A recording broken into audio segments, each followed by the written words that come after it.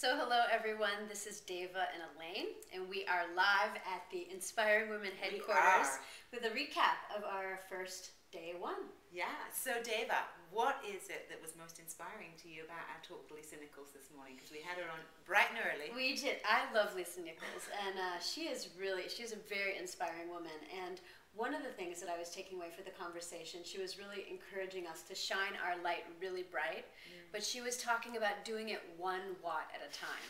That it's not like all of a sudden overnight you just have your dream and it manifests in a huge way. It doesn't. But it doesn't. surprise, surprise. But that you know, keeping your light going day after day and things build on each other. It's, she was talking about the overnight success that took ten years to make Mm-hmm. And how do we mm-hmm. sustain our light through time mm-hmm. when sometimes we hit the peaks and the valleys? Mm-hmm.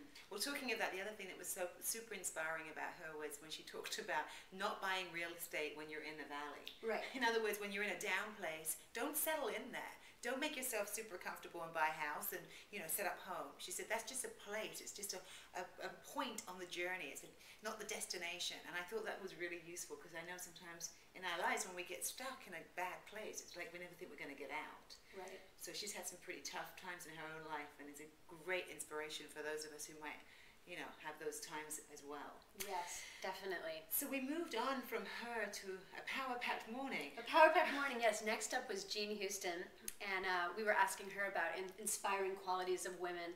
And one of the things we focused on was creativity mm. and how important it is to be highly creative and how we can enhance our creativity at a time when there's a lot of change happening in our mm-hmm. planet. And she was talking about uh, a lot of the work she does overseas, and she's working in the Middle East and in Africa and in Nepal, all over the world, and really looking at how can we enhance that creative impulse within us. Mm-hmm. She also talked about something that I found really interesting, given both of our interest in archetypes.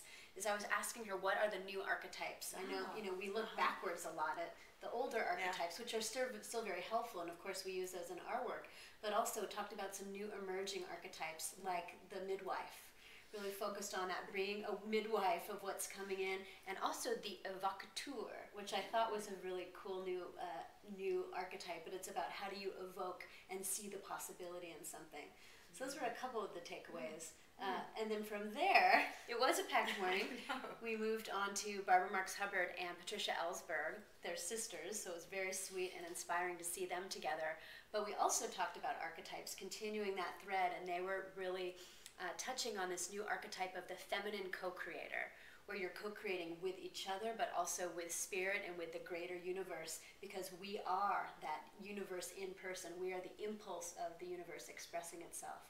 So, looking at that feminine co creator archetype and then diving deep into uh, this shift that we're all at least we are striving to make from ego to essence and how do we spend a lot more of our life residing and connected and speaking from that essence place so patricia led us in a big meditation around that yeah i feel like breathing after you said all that. that's yes, quite a mouthful it was huh? a mouthful um, but actually you're right she got us to slow way down i'm excited now from everything but it was a, a, deep dive in and that journey of going in so that we can also go out and mm. manifest a lot in the world so it's a great segue into the conversation that I had also with Liz Murray and Venus Opal Reese. Very inspiring women. Really wow. inspiring stories, uh, you know, of their lives of going from being homeless and destitute to both graduating, one from Harvard, the other from Stanford.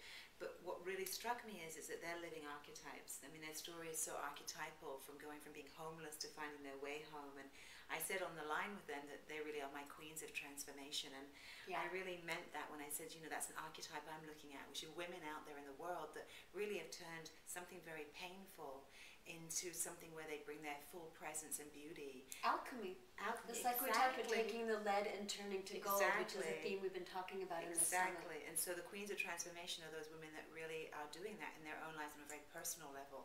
And they're definitely two of my inspirations. And part of what they shared with us was around forgiveness and i think that that's the biggest alchemy that i heard in both of their stories was realizing how they had to move from being you know victims of circumstance victims of terrible things that had happened to them in their lives and really turning around to see how they could forgive those who had perpetrated against them and take responsibility not to condone what had happened right. but to forgive it and really find that compassion and i just was totally touched by that, that they could put that out there into the world after having such horrific circumstances in their own lives. Yes. So Wow, it was a morning. it was quite a morning and really beautiful Yeah, and yeah. very inspiring. Yeah. So hope all It's of only you. day one. It's only day one. Uh, you can listen back. It's all recorded. It's all free. It's all available. And we hope to see you tomorrow for day two.